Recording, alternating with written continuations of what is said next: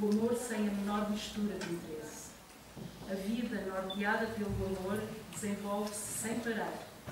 Independentemente da aparência ou da posição social, as pessoas desenvolvem-se de acordo com o esforço e a diligência na prática do amor ao próximo.